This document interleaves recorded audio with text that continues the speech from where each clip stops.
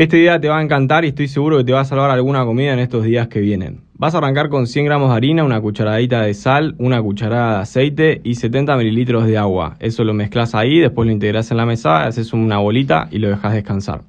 Vas a cortar el relleno, yo usé boconchinos, cherries, aceitunas negras y albahaca. Después, para ese momento la masa va a estar blanda, vas a estirar, te van a salir dos fajitas, cuando está redonda lo llevas a una sartén a fuego medio, sin aceite ni nada, vas a dejar que se dore de un lado, le das vuelta, cuando se termina de cocinar, la vas a sacar y listo. Después a esa fajita le vas a poner el relleno, un chorrito de aceite de oliva, sal, un poco de pimienta y lo vas a doblar como si fuese un pañuelito, de los costados para adentro y después las puntas para arriba.